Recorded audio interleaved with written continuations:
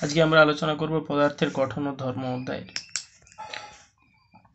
দেখো, প্রথমে আমাদের জানতে হবে এই অধ্যায় প্রথমে বলা আছে চাপ। চাপ সম্পর্কে একটু জানতে হবে। চাপ কাকে বলে? আমরা জানি যে প্রতি একক ক্ষেত্রফলের উপর লম্বভাবে প্রযুক্ত বলকে বলা হবে চাপ। তাহলে চাপ হচ্ছে বল ডিভাইডেড বাই ক্ষেত্রফল। চাপের একক কি হবে? বলের একক ডিভাইডেড বাই ক্ষেত্রফলের একক। এসআই পদ্ধতিতে চাপের একক হচ্ছে newton metre newton metre to the power minus two newton per metre square. এই এককটার আর একটা নাম রয়েছে, এটাকে বলা হয় পাস্কাল। সিজিএস একক হচ্ছে ডাইন পার সেন্টিমিটার স্কোয়ার বা dyne centimetre to the power minus two. চাপের মাত্রীয় সংকেত বের করতে হবে, আমরা জানি বলের মাত্রীয় সংকেত কি আর ক্ষেত্রফলের মাত্রীয় সংকেত কি। তাহলে বলের মাত্রীয় সংকেত বা ক্ষেত্রফলের মাত্রীয় সংকেত, এখান থেকে আমরা চাপের মাত্রীয় সংকেত পেয়ে যাব। বলের মাত্রীয় সংকেত M L T to the power minus two আর ক্ষেত্রফলের মাত্রীয় সংকেত হচ্ছে এল স্কোয়ার বা L two the power two আচ্ছা দিয়ে এটাকে সিম্পলিফাই করে M L two L inverse T to the power minus two এবার, প্রবাহী কাকে বলে? আমাদের জানতে হবে। প্রবাহী কাকে বলে? না, যারা প্রবাহিত হতে পারে, এদের মধ্যে কে পড়ে? বায়ু এবং গ্যাসীয় পদার্থ এবং তরল পদার্থ। বায়ু একটা পরিবাহী যে কোনো তরল পদার্থ একটা পরিবাহী। তাহলে পরিবাহী বলতে সেই সমস্ত পদার্থকে বোঝায় যারা প্রবাহিত হতে পারে। প্রবাহিত হতে পারে গ্যাসীয় পদার্থ এবং তরল পদার্থ। তাহলে গ্যাসীয় পদার্থ এবং তরল পদার্থ উভয়ই কিন্তু পরিবাহী। আচ্ছা পরিবাহী চাপ কি? পরিবাহী তার মধ্যস্থ বা তার সংস্পর্শে থাকা কোনো তলের উপর, কোনো বিন্দুর চারিদিকে একক ক্ষেত্রফলের উপর লম্বভাবে যে বল প্রয়োগ করে, তাকে প্রবাহীর চাপ বলা হয়। তার মানে তরল একটা প্রবাহী, তরলেরও চাপ থাকবে। তরলের চাপ কাকে বলব? তরল পদার্থ, তার মধ্যস্থ কোনো বিন্দুর চারিদিকে একক ক্ষেত্রফলের উপর বা তার সংস্পর্শে থাকা কোনো তলের উপর অবস্থিত কোনো বিন্দুর চারিদিকে একক ক্ষেত্রফলের উপর লম্বভাবে যে বল প্রয়োগ করবে, তাকে বলা হবে তরলের চাপ। আর গ্যাসের চাপ, গ্যাসীয় পদার্থ একই রকমভাবে। গ্যাসীয় পদার্থ তার সংস্পর্শে থাকা কোনো তলের উপর অবস্থিত কোনো বিন্দুর চারিদিকে ক্ষেত্রফলের উপর লম্বভাবে যে বল প্রয়োগ করবে। তাকে বলা হবে? গ্যাসের চাপ। তাহলে গ্যাসীয় পদার্থের আহ, এবং তরল পদার্থে উভয়েরই চাপ থাকতে পারে। আচ্ছা এরপরে আমরা ঘাত। ঘাত মানে কি? ঘাত হচ্ছে লম্বভাবে প্রযুক্ত বল। লম্বভাবে প্রযুক্ত বলকে বলা হবে ঘাত। তাহলে এখানে পরিবাহীর এই প্রবাহীর ঘাত বলতে আমরা কি বুঝব? না প্রবাহীর সংস্পর্শে থাকা কোনো তলের উপর প্রবাহী লম্বভাবে যে বল প্রয়োগ করে তাকে প্রবাহীর ঘাত বলে। তাহলে লম্বভাবে প্রযুক্ত বলকে ঘাত বলা হয় আর প্রবাহী সংস্পর্শে থাকা কোনো তলের উপর প্রবাহী লম্বভাবে যে বল প্রয়োগ করে তাকে বলা হবে প্রবাহীর ঘাত। ঘাত আর বল প্রযুক্ত বল একই জাতীয় রাশি। আর তাই এদের একক ঘাতের একক বলের এককের সঙ্গে সমান হবে মাত্রীয় সংকেত বলের উম, মাত্রীয় সংকেতের সঙ্গে সমান হবে। আচ্ছা ঘাত ও বলের একক এবং মাত্রা অভিন্ন এটাই আমরা এখানে লিখেছি। এরপর দেখো যদি তরল পদার্থ নিই তরল পদার্থের মধ্যে কোনো বিন্দুতে তরলের চাপ কি হবে? তার চাপটা কীভাবে নির্ণয় করব? বা চাপের রাশিমালা কি হবে? আমরা সেটা একটু আলোচনা করব। এখানে দেখো এখানে একটা পাত্র আছে। আহ, চোঙাকৃতির একটা পাত্র। এই পাত্রে কিছুটা তরল রয়েছে।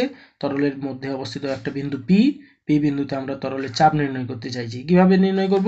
পি বিন্দুর চারিদিকে একটা ক্ষেত্রফল কল্পনা করেছি। এই ক্ষেত্রফলটা হচ্ছে এ তাহলে এ ক্ষেত্রফল বিশিষ্ট একটা তল কল্পনা করেছি। এই এ ক্ষেত্রফল বিশিষ্ট তলের উপর তরল তার নিজের ওজনের জন্য একটা বল প্রয়োগ করবে। তাহলে কতটা অংশের ওজন ওই তলের উপর পড়বে?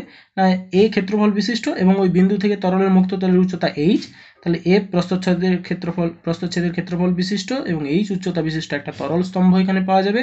যেই তরল স্তম্ভের ওজনটা এই এ ক্ষেত্রফল বিশিষ্ট তলের উপর পড়বে। তাহলে এই বলটা কত পরিমাণ বল কাজ করছে? সেটা আমরা যদি নির্ণয় করতে পারি, এ ক্ষেত্রফলের উপর পড়ছে, তাহলে প্রতি একক ক্ষেত্রফলের উপর কত বল পড়ছে, সেখান থেকে আমরা চাপটা নির্ণয় করতে পারব। তাহলে পি বিন্দুতে তরলের চাপ, দেখো আমরা লিখেছি, পি বিন্দুর চারিদিকে এ ক্ষেত্রফলের উপর তরল দ্বারা প্রযুক্ত ঘাত। তরল কেন ঘাত প্রয়োগ করবে? না, তার ওজনের জন্য। আর তরলের যে অংশে যে ক্ষেত্রফলের মধ্যে ওই ঘাতটা পড়ছে, সেই ক্ষেত্রফলটা দিয়ে ভাগ করে দিলে আমরা চাপ পেয়ে যাব। তাহলে এ ক্ষেত্রফলে, এ, ক্ষেত্রফল ও এই উচ্চতা বিশিষ্ট তরল স্তম্ভের ওজন ডিভাইডেড বাই ক্ষেত্রফল, এরকম করে আমরা চাপটা পাবো। এরপরে দেখো, ছবিটা একটু মনে রাখতে হবে। আমরা নেক্সট পেজে চলে যাচ্ছি। দেখো, তরল স্তম্ভের আয়তন, তরলের ঘনত্ব এবং অভিকর্ষজ ত্বরণ। তরলের এই ক্ষেত্রফল বিশিষ্ট তলে ওপর তরলের ওজনটা পড়ছে সেই ওজনটা যদি আমরা বের করতে পারি তরলের ওজন বের করতে গেলে কি করতে হবে? তরলের আয়তন তরল কত পরিমাণ তরলের ওজন পড়ছে সেই তরলের আয়তন তরলের ঘনত্ব এবং অভিকর্ষজ ত্বরণ উম, এই দিয়ে গুণ এই তিনটা রাশির গুণ ফলে হবে ওজন। সেটা বের করে নিলাম। আচ্ছা তরলের স্তম্ভের আয়তন কী হবে? ক্ষেত্রফল গুণিত উচ্চতা করে আমরা আয়তন পাবো তরলের ঘনত্ব থাকবে ইন্টু অভিকর্ষজ ত্বরণ ডিভাইডেড বাই ক্ষেত্রফল। তাহলে এখানে দেখো এ প্রস্থচ্ছেদের ক্ষেত্রফলটা ছিল মানে চোঙের ক্ষেত্রফলটা ছিল এইচ হচ্ছে উচ্চতা, রো তরলের ঘনত্ব আর জি হচ্ছে অভিকর্ষজ ত্বরণ। আচ্ছা এখানে আমরা চোঙাকৃতি বলে ফেলছি চোঙাকৃতি নাও হতে পারে, অন্য যে কোনো আকারের ক্ষেত্রফল হতে পারে, সে বর্গাকার হতে পারে, আয়তাকার হতে পারে, যেমন কল্পনা করতে পারি, একই রকমভাবে ক্ষেত্রফলটা আচ্ছা এই ক্ষেত্রে দেখতে পেলাম তাহলে কি, তরলের মধ্যস্থ কোনো বিন্দুতে চাপ, তিনটে রাশির উপর নির্ভরশীল যে বিন্দুতে আমরা তরলের চাপ নির্ণয় করতে চাইছি, সেই বিন্দুর গভীরতা, অর্থাৎ তরলের মুক্ত তল থেকে ওই বিন্দুর গভীরতা, রো হচ্ছে তরলের ঘনত্ব আর জি হচ্ছে অভিকর্ষ চরণ এই তিনটা রাশির উপর নির্ভর করে। পরবর্তী ক্ষেত্রে আমরা এটা লিখেছি। তাহলে দেখো, যত গভীরতা বাড়বে, গভীরতা বাড়লে মানে এইচ বাড়বে এইচ বাড়লে কি হবে? চাপটা বাড়বে। আর রো, তরলের ঘনত্ব তরলের ঘনত্ব যত বাড়বে, তত চাপ বাড়বে। আর জি অভিকর্ষ ত্বরণের যদি পরিবর্তন হয়, তাহলে তার পরিবর্তনের জন্য চাপের পরিবর্তন হবে। অর্থাৎ এই পৃথিবীতে সমস্ত অঞ্চলেই তো অভিকর্ষ ত্বরণের মান ধ্রুবক এমনটা নয়। বিভিন্ন ক্ষেত্রে, বিভিন্ন স্থানে জি এর মান বিভিন্ন, সেক্ষেত্রে ওই একই তরল যদি নিয়ে যাওয়া হয়, একই উচ্চতা বিশিষ্ট তরলে চাপটার পার্থক্য হয়ে যাবে অভিকর্ষ ত্বরণের পার্থক্যের জন্য। কিন্তু একটা খুব ক্ষুদ্র অঞ্চলের মধ্যে জি মোটামুটি স্থির থাকে, তাহলে জি স্থির থাকলে তখন এইচ আর রো এর উপরই চাপটা নির্ভর করবে। তাহলে আমরা দেখলাম কি? গভীরতার উপরও চাপ নির্ভর করে। অর্থাৎ তরলের মুক্ত তল থেকে যে বিন্দুতে তরলের চাপ আমরা নির্ণয় করতে চাইছি, সেই বিন্দুর গভীরতা যত বেশি হবে, তত তরলের চাপ বৃদ্ধি পাবে। আর তরলের ঘনত্ব যত বৃদ্ধি পাবে, তত তরলের চাপও বৃদ্ধি পাবে। ঠিক আছে? তাহলে এই ব্যাপার। এরপর আরও কতগুলো বিষয় আমাদের লক্ষ্য রাখতে হবে, সেই লক্ষ্য বিষয়গুলো একটু দেখে নাও। না, স্থির তরলের যে কোনো বিন্দুতে চাপ সব দিকে সমান হয়। এটা পরীক্ষার মাধ্যমে দেখানো যায়, অনেক বইতে পরীক্ষাটা দেওয়া আছে। আমাদের যে টেক্সট বুকটা আছে, সেই টেক্সট বুক ওটা নেই। আমি আর এটা বিস্তারিত আলোচনা করিনি। কিন্তু এটা মনে রাখতে হবে, স্থির তরলের যে কোনো বিন্দুতে চাপ সব দিকে সমান হয়। মনে করো, এটা একটা পাত্র আছে, এই পাত্রে তরল আছে। তরলের মধ্যে এই বিন্দুতে আমি চাপ বের করতে চাইছি। এই দিকে যত চাপ হবে এই দিকেও সেই একই পরিমাণ চাপ প্রযুক্ত হবে এই দিকেও সেই একই পরিমাণ চাপ প্রযুক্ত হবে এই দিকেও সেই একই পরিমাণ চাপ প্রযুক্ত হবে। অর তাহলে দেখতে পাচ্ছি যে কোনো একটা বিন্দুতে চাপ সব দিকে সমান হয়। এই দিকে অনুভূমিক দিকে, উলম্ব দিকে, নিচের দিকে, উপরের দিকে সব দিকে সব দিকে চাপ সমান হবে এই বিন্দুতে। আচ্ছা ওইটাই বোঝাতে চেয়েছি। তারপরে দেখো স্থির তরলের মধ্যে একটি অনুভূমিক তল যদি কল্পনা করা হয় তাহলে সেই অনুভূমিক তলের উপর প্রত্যেকটা বিন্দুতে তরলের চাপ সমান হবে। মানে এই একটা এরকম ধরো পাত্র আছে, পাত্রের মধ্যে তরল রাখা আছে, এই তলের মধ্যে একটা অনুভূমিক তল কল্পনা হলো। এই অনুভূমিক তলের উপর প্রত্যেকটা বিন্দুতে প্রত্যেকটা বিন্দুতে তরলের চাপ সমান হবে। হ্যাঁ? তাহলে তরলের মধ্যস্থিত কোনো একটা অনুভূমিক তলের উপর সকল বিন্দুতে তরলের চাপ সমান হবে। আচ্ছা পাত্রের তলদেশে তরলের চাপ পাত্রের আকার এবং পাত্রের মধ্যে তরলের পরিমাণের উপর নির্ভর করবে না। তার মানে যেমন আকারের পাত- পাত্র হোক ধরো এরকম আকারের একটা পাত্র হলো, এরকম আকারের, বা উল্টো এরকম একটা আকারের পাত্র হলো, বা এই রকম আকারের একটা পাত্র হলো। পাত্রের আকার যেমনই হোক না কেন, যদি তরলের উচ্চতাটা সমান হয়, তরলের উচ্চতা যদি সমান হয়, তাহলে তরলের চাপটাও প্রত্যেকটা বিন্দুতে সমান হবে। তাহলে ক্ষেত্রফলটা পাত্রের তলদেশের ক্ষেত্রফল কম হবে, বেশি হবে। পাত্রটাতে কত বেশি পরিমাণে জল আছে, কত কম পরিমাণে জল আছে, তার উপর নির্ভর করবে না চাপটা। চাপ কেবলমাত্র উচ্চ- উচ্চতার উপর নির্ভর করবে। উচ্চতা যদি সব পাত্রের সমান হয়, তাহলে এবং একই তরল যদি নেওয়া হয়, অবশ্যই একই তরল যদি নেওয়া হয় এবং উচ্চতাটা যদি সমান হয়, তাহলে সব সব পাত্রেই তরলের চাপ সমান হবে। স্থির তরলের মুক্ত পৃষ্ঠ অনুভূমিক হয়। স্থির তরলের মুক্ত পৃষ্ঠ অনুভূমিক অর্থাৎ কোনো পাত্রে যদি আমি একটা তরল পদার্থ রাখি, তরলের যে উপরিতলটা পাবো, সেই উপরিতলটা অনুভূমিক হবে, সমতল হবে একটা। আর তবে সব ক্ষেত্রে সমতল বলা যাবে না, কিছু ব্যতিক্রমও আছে এবং সমস্ত অংশটা সম, সমতল হবে না, পরবর্তী ক্ষেত্রে এই অধ্যায়ে আমরা দেখব। তো মোটামুটি অনুভূমিক হবে, যদি একটা বড় পাত্র নিই, বড় পাত্রে নিয়ে সেই পাত্রের মধ্যে যদি একটা জল দেওয়া হয়, তাহলে জলের উপরিতলটা দেখব, মোটামুটি অনুভূমিক। পুরোটা অনুভূমিক আছে। এবারে যেই অংশে পাত্রের সঙ্গে সংস্পর্শে থাকবে, সেক্ষেত্রে কিন্তু অনুভূমিক নাও হতে পারে। এটা তরলের উপর নির্ভর করে, আমরা পরে সেটা আলোচনা করব। আচ্ছা এরপরে দেখো আরেকটা তরলের সমুচ্চশীলতা ধর্ম আছে। অর্থাৎ অনেকগুলো পাত্র নিয়ে যদি পাত্রগুলোকে যোগ করা হয়, মনে করো, এইখানে যেমন একটা এঁকেছি, এটাই আঁকলাম।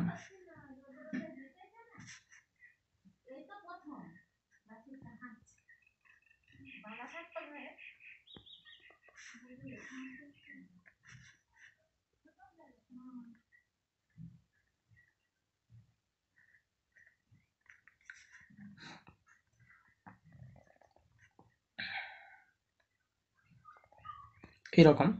যদি অনেকগুলো এরকম পাত্র থাকে এবং পাত্রগুলোর যদি সংস্পর্শে মানে পরস্পরের সঙ্গে যদি তরল প্রবাহিত তরল একটা পাত্র থেকে অন্য পাত্রে সঞ্চালিত হতে পারে, তাহলে তখন দেখব আমরা যে প্রত্যেকটা পাত্রের তরলের উচ্চতা কিন্তু সমান হবে। অর্থাৎ তরল সর্বদা সমোচ্চশীলতার ধর্ম দেখায়, একই উচ্চতায় থাকতে চায়।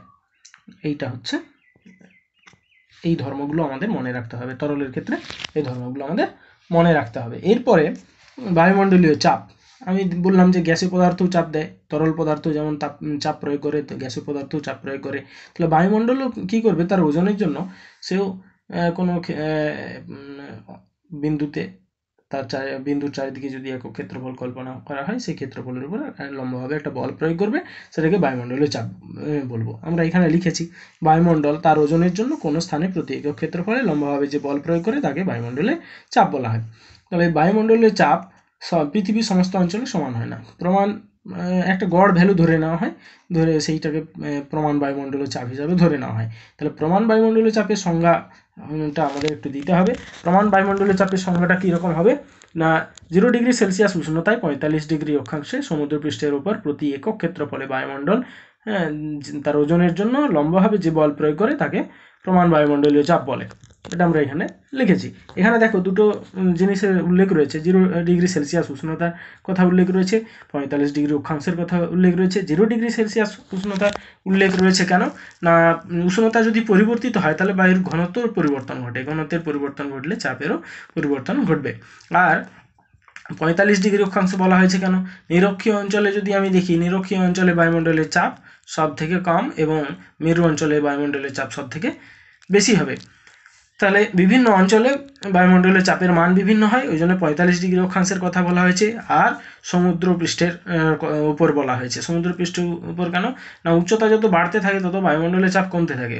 উচ্চতা যত বাড়তে থাকবে, তাহলে উচ্চতার সাথেও কিন্তু বায়ুমণ্ডলের চাপের পরিবর্তন হয়। সেক্ষেত্রে একটা নির্দিষ্ট ইয়ে ধরে নেওয়া হয়েছে, যেটা সমুদ্র পঁয়তাল্লিশ ডিগ্রি অক্ষাংশে এবং সমুদ্র পৃষ্ঠে সমুদ্র পৃষ্ঠে বায়ুমণ্ডল যে চাপ প্রয়োগ করবে, সেটাকে প্রমাণ বায়ুমণ্ডলের চাপ বলা হয়। তাহলে প্রমাণ বায়ুমণ্ডলের চাপের সংজ্ঞা যদি লিখতে বলা হয়, তাহলে এরকম লিখতে হবে, জিরো ডিগ্রি সেলসিয়াস উষ্ণতায় পঁয়তাল্লিশ ডিগ্রি অক্ষাংশে সমুদ্র পৃষ্ঠের উপর প্রতি একক ক্ষেত্রফলে লম্বভাবে বায়ুমণ্ডল যে বল প্রয়োগ করে তাকে প্রমাণ বায়ুমণ্ডলের চাপ বলা হয়। আচ্ছা প্রমাণ বায়ুমণ্ডলের চাপের মানটা নির্দিষ্ট। প্রমাণ বায়ুমণ্ডলের চাপের মান ছিয়াত্তর সেন্টিমিটার পারস্তম্ভের চাপের সঙ্গে সমান হয়। অর্থাৎ ছিয়াত্তর সেন্টিমিটার উচ্চতা বিশিষ্ট পারস্তম্ভ যে চাপ প্রয়োগ করতে পারে, বায়ুমণ্ডলও সেই একই পরিমাণ চাপ প্রয়োগ করে। এটাকে আমাদের প্রমাণ চাপ বলা হয়। এরপর আমরা দেখে নেব বিভিন্ন একক পদ্ধতিতে চাপের মানগুলো, প্রমাণ বায়ুমণ্ডলীয় চাপের মানগুলো। আচ্ছা আমরা দেখলাম যে এখানে বায়ুমণ্ডলের চাপটাকে বলা হয়েছে ছিয়াত্তর সেন্টিমিটার পাওয়ার চাপের সঙ্গে সমান। তাহলে ছিয়াত্তর সেন্টিমিটার পাওয়ার স্তম্ভের চাপই হবে বায়ুমণ্ডলীয় চাপের মান। আমরা বিভিন্ন একক পদ্ধতিতে, বিভিন্ন এককে এই চাপের মানটা নির্ণয় করেছি। দেখো, প্রথমে ছিয়াত্তর সেন্টিমিটার পাওয়ার স্তম্ভের চাপ মানে আমরা তরলের চাপ জানি, উচ্চতা ঘনত্ব এবং অভিকর্ষ ত্বরণের উপর নির্ভর করে। তাহলে ছিয়াত্তর সেন্টিমিটার পাওয়ার স্তম্ভের চাপ কী হবে? ছিয়াত্তর সেন্টিমিটার ইন্টু পারদের ঘনত্ব ইন্টু অভিকর্ষ ত্বরণ। এরকম করে আমরা দেখেছি দেখলে মোটামুটি প্রায় আমরা এই ভ্যালুটা পাবো one point zero one three into ten to the power six dyne per centimetre square এগুলো সবই সিজিএসে বসিয়েছি, ছিয়াত্তর, তেরো দশমিক ছয়, নশো আশি, এই সব মানগুলো সব সিজিএস সিস্টেমে বসানো হয়েছে, তাই এককটা হবে ডাইন পার সেন্টিমিটার স্কোয়ার তাহলে one point zero one three into ten to the power six dyne per centimetre square এটা হবে প্রমাণ বায়ুমণ্ডলীয় চাপের মান সিজিএস পদ্ধতিতে। এসআই পদ্ধতিতে হবে কত? One point zero one three into ten to the power five newton per metre square এটাকে পাস্কাল বলা হয়। এখানে তোমরা মনে রাখবে, এটা যেন মনে রাখতে হবে যে ten dyne per centimetre square এটা সমান one newton per metre square এই সম্পর্কটাও তোমরা বের করে নিতে পারো। যে এক নিউটন পার মিটার স্কোয়ার সমান কত? ডাইন পার সেন্টিমিটার স্কোয়ার আমি এইটা প্রয়োগ করেই এখানে লিখেছি। দশ দিয়ে এটাকে ভাগ করে দিয়েছি ডাইন পার সেন্টিমিটার স্কোয়ারের মানটা থেকে, তাহলে আমরা নিউটন পার মিটার স্কোয়ারে বা পাস্কাল এককে আমরা বায়ুমণ্ডলীয় চাপটা পেয়ে গেলাম। আচ্ছা এরপরে আরেকটা একক আছে বায়ুমণ্ডলীয় চাপের বার। বারটা কি? কি বলছে যে ten to the power five পাস্কালকে বলা হবে এক বার। তাহলে এক্ষেত্রে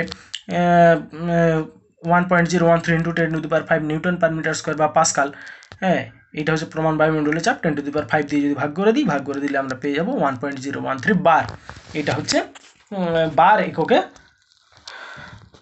বায়ুমণ্ডলীয় চাপের বার এককে বায়ুমণ্ডলীয় চাপের মান। এরপরে আরেকটা, এবারে দেখবে ম্যাক্সিমাম ক্ষেত্রে মিলি বার এককে বায়ুমণ্ডলীয় চাপটা প্রকাশ করা হয়। One millibar equal to ten to the power minus three bar তাহলে সেক্ষেত্রে আমরা one point one zero one three অর্থাৎ এক হাজার তেরো মিলি বার প্রমাণ বায়ুমণ্ডলীয় চাপ। এর মানটা হবে বার এককে। আর এরপর আর একটা একক আছে torr. One torr equal to one millimetre পারস্তম্ভের চাপ। এক মিলিমিটার পারস্তম্ভের চাপের সমান চাপটা হবে ওয়ান টর। তাহলে প্রমাণ বায়ুমণ্ডলীয় চাপের মান টর এককে হবে সাতশো ষাট টর।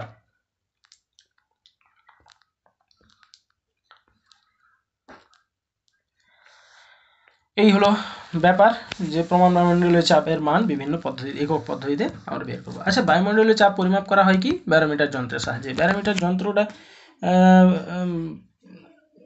প্রথম যে আবিষ্কার করেছিলাম, ব্যারোমিটার যন্ত্র মানে যার নীতি অনুযায়ী ব্যারোমিটার যন্ত্রটা শুরু হয়েছিল, যে যার পরীক্ষার মাধ্যমে, সেটা হচ্ছে টরিসেলির পরীক্ষা। টরিসেলি একটা পরীক্ষা করেছিলেন কি করেছিলেন না, একটা এক মিটার দৈর্ঘ্য বিশিষ্ট পারদদের একটা নল নিয়েছিলেন, নলের মধ্যে পারদ সম্পূর্ণভাবে ভরে এবং একটা পাত্রের মধ্যে রাখা পারদের মধ্যে ওই নলটাকে উবুড় করে ওই পারদের মধ্যে ডুবিয়ে দেন এবং দিয়ে সেটা, এই খোলা অংশটা ছেড়ে দেন। তাহলে দেখা যায় যে পারদ কিন্তু একশো সেন্টিমিটার পর্যন্ত থাকতে পারে না, কিছুটা পর্যন্ত নেমে যায়, কিছুটা পর্যন্ত নেমে যায়।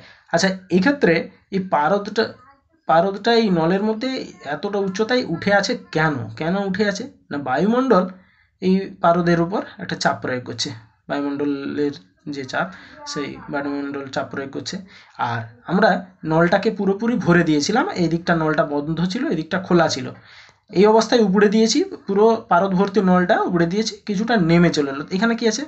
শূন্যস্থান বলা হয়। এই অঞ্চলটাকে টরিসেলি শূন্যস্থান বলা হয়। এখানে ধরে নেওয়া হয় যে পারদ বাষ্প আছে, বায়ু থাকে না।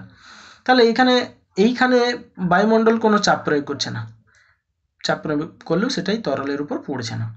যদি এটাকে আমি ছিদ্রটা, এখানে একটা ছিদ্র করে দিই, ছিদ্র করে দিলে বায়ু এখানে ঢুকবে। বায়ু ঢুকলে এখানে বায়ুমণ্ডল চাপ প্রয়োগ করবে, যার ফলে তরলটা এখানে নেমে গিয়ে এখানে চলে আসবে। আর নলের মধ্যে এই উচ্চতা বিশিষ্ট তরল এখানে উঠে আছে এই কারণেই যে বায়ুমণ্ডল এই পারদের উপর চাপ দিচ্ছে, এই চাপের প্রভাবে এই পারদটা আর এখানে নামতে পারছে না, এই নলের মধ্যে উঠে থাকছে। এবার দেখো, নলটাকে আমরা ক্রমশ কাত করে দিচ্ছি। একটু আনত করে দিলে দেখতে পাবো। যে এই উচ্চতাটার কোনো পরিবর্তন হচ্ছে না। কি হচ্ছে? টরিসেলি শূন্যস্থানের পরিবর্তন হচ্ছে। তাহলে বায়ুমণ্ডলের চাপ পারস্তম্ভের উচ্চতার উপর নির্ভর করে। তাকে যেমনভাবে আনত অবস্থায় রাখা হোক বা অন্য কোনোভাবে রাখা হোক, তার কিন্তু পারদের উচ্চতার কোনো পরিবর্তন হয় না। এটা তোমাদের মনে রাখতে হবে। এরপর দেখো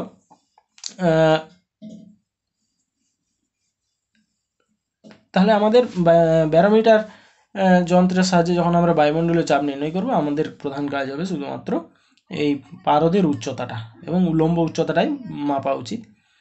দেখব এবারে সেটা কীভাবে পরিমাপ করা হয়। আচ্ছা এর আগে বলে রাখি, বায়ুমণ্ডলের চাপ পরিমাপক যন্ত্র অনেক রয়েছে। তার মধ্যে সবথেকে গ্রহণযোগ্য যেটা মোটামুটি ল্যাবে ল্যাবরেটারিতে যে যন্ত্রটা থাকে, সেটা হচ্ছে ফোরটিনের ব্যারোমিটার।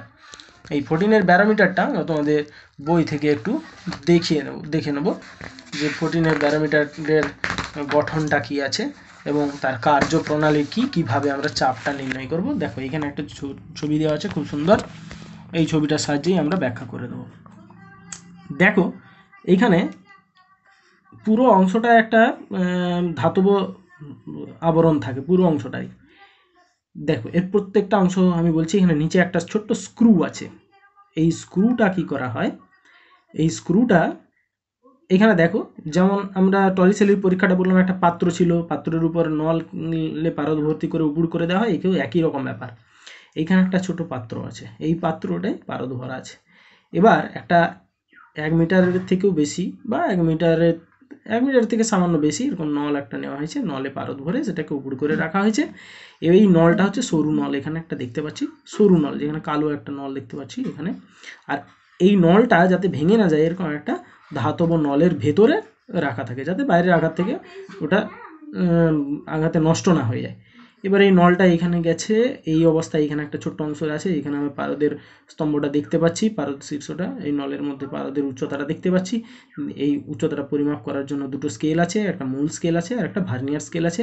মূল স্কেল এবং ভার্নিয়ার স্কেল এইগুলো সম্পর্কে তোমরা এখন, মূল স্কেল সম্পর্কে জানো, যেগুলো তোমরা ব্যবহার করো এখন, ওগুলোকে মূল স্কেল বলতে পারি metre scale centimetre millimetre scale এগুলো। ভার্নিয়ার স্কেলের একটা বিশেষ বৈশিষ্ট্য আছে, ওগুলো তোমরা উঁচু ক্লাসে গিয়ে জানবে, এখন আমি সেটা বলছি না। তো সূক্ষ্ম পরিমাপের জন্য ভার্নিয়ার স্কেলটা ব্যবহার করা হয়। তাহলে এখানে স্কেল আছে। আর এখানে একটা দেখবে একটা হাতল আছে বা একটা স্ক্রু আছে।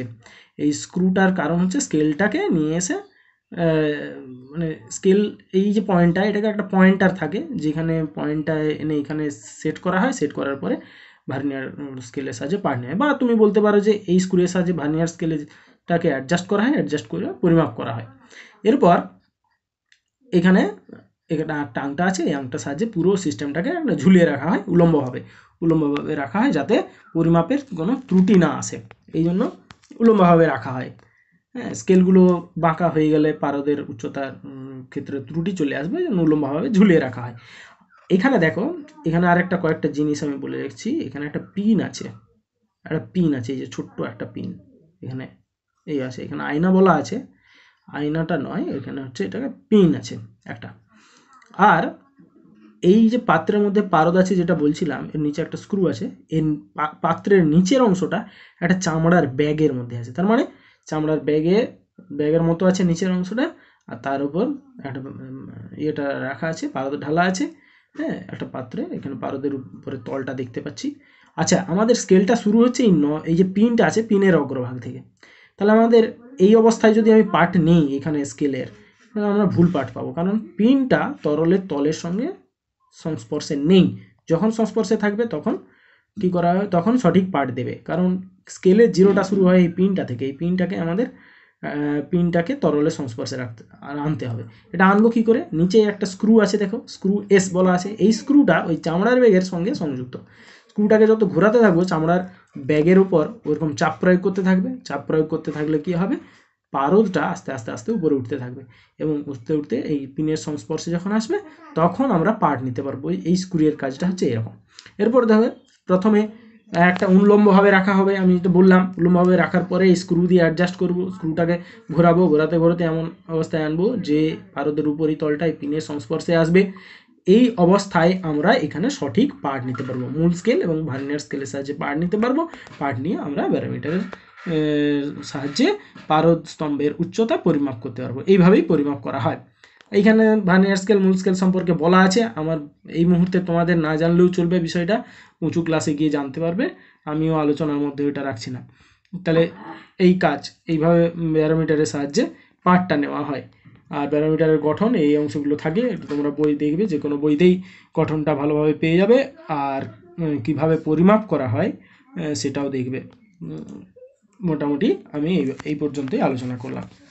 আচ্ছা ফোর্টিনের ব্যারোমিটারের সাহায্যে পারদ বায়ুমণ্ডলের চাপ পরিমাপ করা হয়, পারদের উচ্চতা নির্ণয়ের মাধ্যমে। এই ব্যারোমিটারের সাহায্যে পারদস্তম্ভের উচ্চতা নির্ণয় করে বায়ুমণ্ডলের চাপ পরিমাপ করে আমরা কি করব, কি কাজে আসে আমাদের? না, বায়ুমণ্ডলের চাপ পরিমাপ করে আমরা আবহাওয়ার পূর্বাভাস দিতে পারি। পূর্বাভাস দিতে পারি কি রকম? না, অনেক রকম ঘটনা ঘটতে পারে। হঠাৎ করে মনে করো কোনো অংশে চাপ কমে গেল। চাপ কমে গেলে কী হবে? হঠাৎ করে পারস্তম্ভের উচ্চতা কমে যাবে। তাহলে পারস্তম্ভের উচ্চতা যদি হঠাৎ করে কমে যায়, তাহলে সেখানে নিম্নচাপের সৃষ্টি হলো, অর্থাৎ এমন নিম্নচাপের সৃষ্টি হবে আশেপাশের অঞ্চল থেকে, উচ্চচাপযুক্ত অঞ্চল থেকে প্রচুর পরিমাণে বায়ু প্রবাহিত হবে, অর্থাৎ ঝড়ের সম্ভাবনা থাকবে, ঝড় হবে, বৃষ্টি হবে। যদি আস্তে আস্তে আস্তে আস্তে আস্তে পারস্তম্ভের উচ্চতা কমতে থাকে, তার মানে চাপটা ক্রমশ আস্তে আস্তে কমতে থাকবে। আস্তে আস্তে যদি চাপটা কমতে থাকে, মনে বুঝতে হবে যে জলীয় বাষ্পের পরিমাণ ক্রমশ বৃদ্ধি পাচ্ছে বাড়িতে জলীয় বাষ্পের পরিমাণ ক্রমশ বৃদ্ধি পাওয়ার ফলে চাপটা কমে যাচ্ছে। এবং বৃষ্টি হওয়ার সম্ভাবনা থাকবে। এরপর যদি চাপ হঠাৎ করে বেড়ে যায়, চাপ যদি হঠাৎ করে বেড়ে যায় মানে বায়ু উচ্চতাটা ক্রমশ বাড়তে থাকছে, ধরো, উচ্চতা বাড়তে থাকলে উচ্চচাপের সৃষ্টি হয়েছে মনে রাখতে হবে। উচ্চচাপে সৃষ্টি হয়েছে মানে বায়ুতে জলীয় বাষ্পের পরিমাণ ক্রমশ কমতে থাকছে, যার ফলে বায়ুর চাপটা ক্রমশ বৃদ্ধি পাচ্ছে। এটা পূর্বাভাস আস্তে আস্তে যদি কমতে থাকে তাহলে মোটামুটি আস্তে আস্তে পরিবেশটা শুষ্ক হচ্ছে। এরপরে যদি হঠাৎ করে বায়ুমণ্ডলের চাপ বেড়ে যায়, অর্থাৎ পারস্তম্ভের উচ্চতা বৃদ্ধি পায়, তাহলে কি দেখব? না, শুষ্ক বায়ু প্রবাহ বায়ু প্রবাহ সৃষ্টি হবে। মানে ঝড় হবে, কিন্তু সেই ঝড়ের জলীয় বাষ্পের পরিমাণটা খুব কম থাকবে। আমরা এটা দেখি সচরাচর গ্রীষ্মকালে দেখবে লু বয়।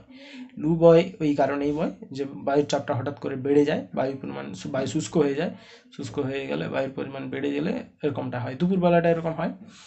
আর নিম্নচাপ এইভাবে। তাহলে ব্যারোমিটারের সাহায্যে আমরা আবহাওয়ার পূর্বাভাস এইভাবে নির্ণয় করতে পারি, জানতে পারি। এরপর আমরা চলে যাব সাইফন ক্রিয়া। সাইফন ক্রিয়াটা কি? দেখো, সাইফন ক্রিয়া হচ্ছে তোমরা প্রত্যেকে দেখবে কোথাও না কোথাও দেখে থাকবে। কেরোসিন তেলে তেলের দোকানে যদি যাও বড় বড় ড্রাম থেকে কেরোসিন তেল ঢালতে অসুবিধা হয়। তখন কেরোসিন তেলের ডিলার ওরা কী করে? পাইপ দিয়ে বড় ড্রাম থেকে ছোট ছোট পাত্রে ছোট পাত্রে তেলটাকে ঢেলে নেয়। হ্যাঁ, এই যে ক্রিয়ার সাহায্যে করা এটা সাইফন ক্রিয়া। সাইফন ক্রিয়া কি?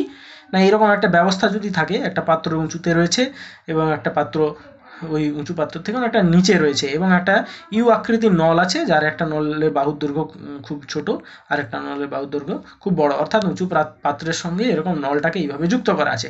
এই অবস্থায় যদি নলটাকে তরল দ্বারা পূর্ণ করা হয়, দেখা যাবে যে একবার যদি, আমি ধরো অনেক ক্ষেত্রে করা হয় কি মুখ দিয়ে এদিকে যদি বাতাসটাকে বের করে নেয়, তাহলে তরল এদিকে উঠতে থাকবে।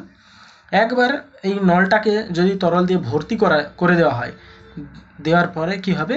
ক্রমশ এ বিন্দুর থেকে বি বিন্দুর দিকে তরলটা প্রবাহিত হবে। অর্থাৎ এই পাত্র থেকে নল বরাবর তরল উঠতে থাকবে, উঠে এই পাত্রে এসে জমা হতে থাকবে। এই ক্রিয়াটা হচ্ছে সাইফন ক্রিয়া। অর্থাৎ ইউ আকৃতির নলে একটা, যে, ইউ আকৃতির নলে ছোট বাহু থেকে বড় বাহুতে তরলটা প্রবাহিত হবে। অর্থাৎ উঁচু পাত্র থেকে নিচু পাত্র দিয়ে তরল প্রবাহিত হবে। এখানে আমরা একটা, দেখো, অনুভূমিক অংশ। ইউ আকৃতির নলে একটা অনুভূমিক অংশ রেখেছি। অনুভূমিক অংশের একদম ছোট বাহুর উপরে এ বিন্দু আর বড় বাহুর উপরে বি বিন্দু রয়েছে। এ এবং বি বিন্দুতে কি হবে? এ থেকে বি এর দিকে তরল প্রবাহ হবে, আমরা এটা বললাম। কেন হবে তরল প্রবাহটা? সেই ব্যাখ্যাটা আমরা দেবো। অর্থাৎ সাইফন ক্রিয়াটা কেন ঘটবে সেটা আমরা বলব। তা সাইফনটা কি? না, এই পুরো ব্যবস্থাটা সাইফন, আর এই একটা পাত্র থেকে আর একটা পাত্রের এরকম তল, তরল কন্টিনিউয়াস যে, তরলের যে কন্টিনিউয়াস ফ্লো হবে, অর্থাৎ ক্রমাগত প্রবাহিত হতে থাকবে উঁচু পাত্রটা থেকে তরলটা নিচু পাত্রে স্থানান্তরিত হতে থাকবে, উঁচু পাত্রের তরল ক্রমশ কমতে থাকবে, নিচু পাত্রের তরলটাও ক্রমশ বাড়তে থাকবে। এই যে ঘটনাটা, এটা হচ্ছে সাইফন ক্রিয়া। এবার সাইফন ক্রিয়াটা আমরা ব্যাখ্যা করব। আচ্ছা এই যে দুটো পাত্র আছে, এই দুটো পাত্রের তরলের উপর বায়ুমণ্ডল একটা চাপ প্রয়োগ করবে। এইখানেও চাপ প্রয়োগ করবে, এখানেও চাপ প্রয়োগ করবে। যেহেতু এই পাত্র দুটোর উচ্চতা খুব বেশি নয়, কয়েক মিটার হতে পারে। হ্যাঁ তাহলে কয়েক মিটার উচ্চতার মধ্যে বায়ু চাপের কোনো পার্থক্য হবে না। অর্থাৎ এই পাত্রের এখানেও বায়ুমণ্ডল চাপ প্রয়োগ করবে, এই পাত্রের তরলের উপরও বায়ুমণ্ডল চাপ প্রয়োগ করবে। এবার পাত্রটাকে যদি তরল দ্বারা পূর্ণ করে দেওয়া হয়, যদি না করা হয়, তাহলে এইখানে বায়ুমণ্ডলের চাপ এইখানে নল খালি এইখানে চাপ আছে এইখানে চাপ আছে এইখানে চাপ কত? বায়ুমণ্ডলীয় চাপ, এখানেও বায়ুমণ্ডলীয় চাপ, তাহলে দুটো বিন্দুতে চাপের পার্থক্য শূন্য, তাহলে তরল প্রবাহিত হবে না। তরল সবসময় উচ্চ চাপ থেকে নিম্ন চাপের দিকে প্রবাহিত হয়। অর্থাৎ নল যদি এখানে খালি থাকে, খালি থাকলে এ বিন্দু এবং বি বিন্দুতে তরলের চাপ সমান হয়ে যাবে, সমান হয়ে গেলে তরল কিন্তু এ থেকে বি এর দিকে প্রবাহিত হবে না, অর্থাৎ সাইফন ক্রিয়া হবে না। তাহলে নল বায়ু দ্বারা পূর্ণ থাকলে কখনোই সাইফন ক্রিয়া হবে না। এবার কি করা হলো? নল দিয়ে নলে জল দিয়ে, যে তরলটা ব্যবহার করেছি, সেই তরল দিয়ে ভরে দেওয়া হলো। ভরে দিলে কি হবে? এই অংশটা পুরোটা তরলে ভরে আছে। পুরো অংশটা তরলে ভরে আছে। এবার এই বিন্দুতে চাপ। আচ্ছা একই অনুভূমিক রেখার উপর সমস্ত বিন্দুতে চাপ সমান? অর্থাৎ পাত্রের উপর যদি এইরকম একটা বিন্দু নিই, আবার এখানে সি বিন্দুটা যদি নিই, তাহলে এই দুটো বিন্দুতে চাপ সমান হবে। আমি সেটাই করেছি। তাহলে সি বিন্দুতে চাপ কত হবে? এই বিন্দুতে চাপ প্লাস এই এইচ ওয়ান উচ্চতা বিশিষ্ট তরল স্তম্ভের চাপ, এটা হবে সি বিন্দুর চাপ, আর এইটা এই এইখানে একটা চাপ আছে, বায়ুমণ্ডলের চাপ। আমি সেটাই করেছি এই বিন্দুতে তরলের চাপ প্লাস এইচ ওয়ান ডিজি ডিটা হচ্ছে তরলের ঘনত্ব এইচ ওয়ান হচ্ছে এই বিন্দুর উচ্চতা, এই তরলের মুক্ত প্রান্ত থেকে, আর জিটা হচ্ছে অভিকর্ষ ত্বরণ। তাহলে দেখতে পাচ্ছি যে এ বিন্দুতে তরলের চাপ প্লাস এই এইচ উচ্চতা বিশিষ্ট এইচ ওয়ান উচ্চতা বিশিষ্ট তরল স্তম্ভের চাপ সমান সি বিন্দুতে চাপ। আর সি বিন্দুতে চাপ মানে এই বিন্দুতে চাপ, এইখানে চাপ মানে বায়ুমণ্ডলীয় চাপ। তাহলে সি বিন্দুতে চাপ বা বায়ুমণ্ডলের চাপ এই দুটো সমান হবে, ওই জন্য এটাকে লিখেছি। এখান থেকে দেখো এ বিন্দুতে চাপ কত হবে? সি বিন্দুতে চাপ মানে বায়ুমণ্ডলীয় চাপ, ওটাকে আমরা পি বলেছি। আর বাঁ দিকে ছিল এইচ ওয়ান ডিজি ওটা ডান দিকে চলে গিয়ে H minus H one D G হয়ে যাবে। তাহলে এ বিন্দুতে চাপ হবে P minus H one D G এটা আমরা এ বিন্দুতে চাপ বের করলাম। এখন বি বিন্দুতে চাপ বের করব, একই রকম ভাবে এখানে ডি বিন্দুতে চাপ আর এইখানে পাত্রের উপর কোনো একটা বিন্দু, সেখানে চাপ সমান হবে, বায়ুমণ্ডলীয় চাপের সঙ্গে সমান হবে। তাহলে ডি বিন্দুতে চাপ আবার, বি বিন্দুতে তরলের চাপ ডিভা প্লাস এইচ টু উচ্চতা বিশিষ্ট তরল স্তম্ভের চাপ। তাহলে সেখান থেকে আমরা একই রকম বি বিন্দুতে তরলের চাপ পাবো এখানে বায়ুমণ্ডলীয় চাপ মাইনাস এই এইচ টু উচ্চতা বিশিষ্ট তরল স্তম্ভের চাপ। সেটাকেই আমরা লিখেছি বি বিন্দুতে তরলের চাপ সমান P minus H two D G এখন বলো এই বিন্দুতে তরলের চাপ আমি এই রাশিমালাটা পেলাম, বি বিন্দুতে তরলের চাপ আমি এই রাশিমালাটা পেলাম P minus H two D G এখন এইচ ওয়ান বড়ো না এইচ টু বড়ো? এইচ টু বড়ো। এইচ টু যদি বড়ো হয়, এই রাশিটা বড় হবে, এই রাশিটার তুলনায়। তাহলে এ বিন্দুতে চাপ P minus h one d g তার মানে পি মাইনাস এইচ ওয়ান ডিজির মানটা P minus h two d g এর মানটার থেকে বেশি হবে, অর্থাৎ এই বিন্দুতে চাপ বেশি হবে।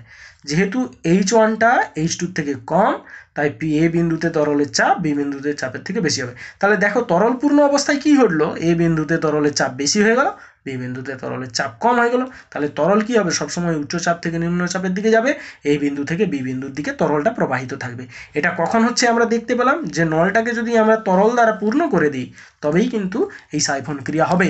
যদি নলটাকে তরল দ্বারা পূর্ণ না করি, তাহলে কি হবে? সাইফন ক্রিয়া হবে না। আর কি ঘটনা দেখতে পেলাম?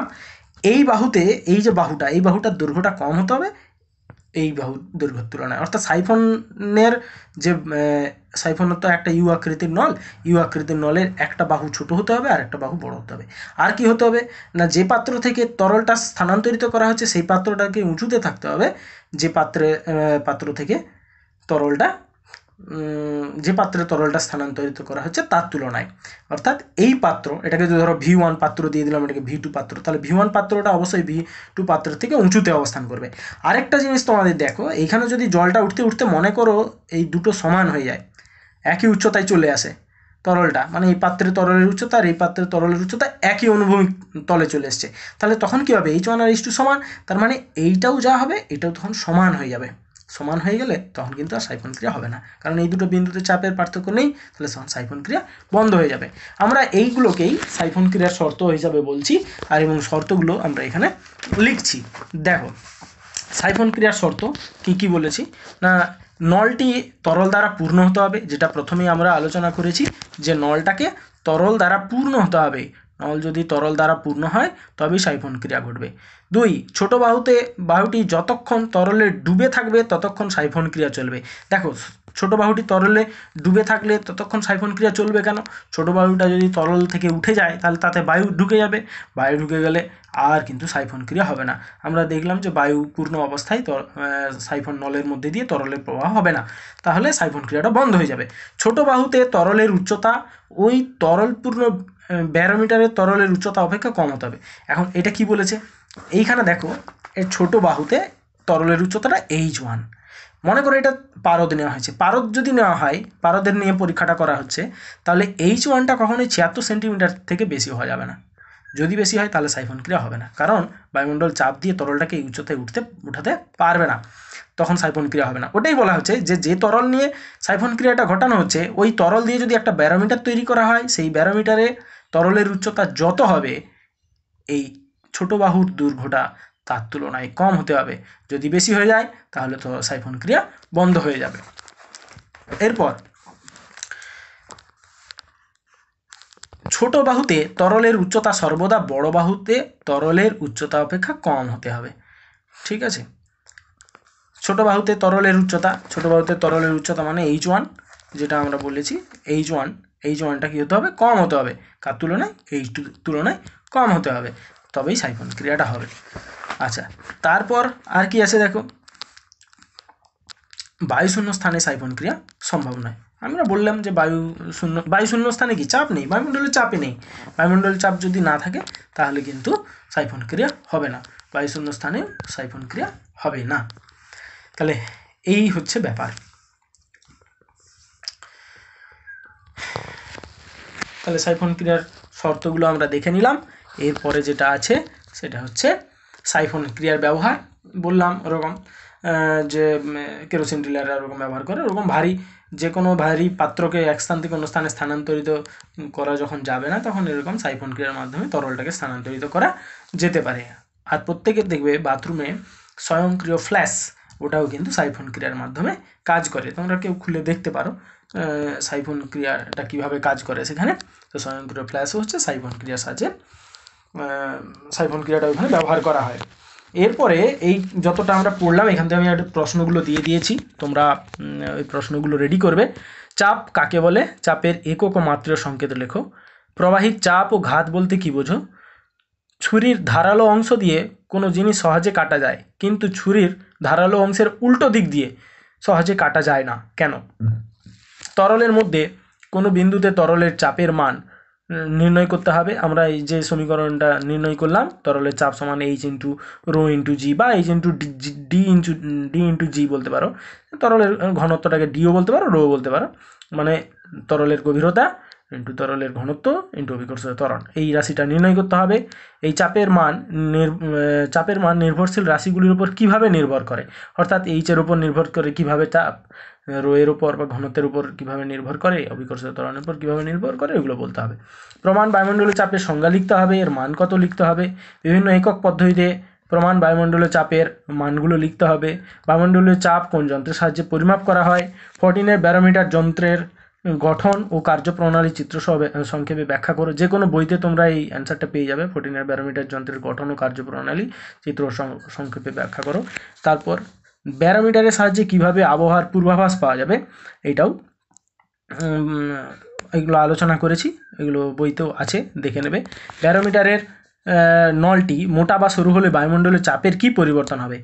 দেখো, চাপ কিন্তু প্রস্থচ্ছেদের ক্ষে- নলের প্রস্থচ্ছেদের ক্ষেত্রফলের উপর নির্ভর করে না।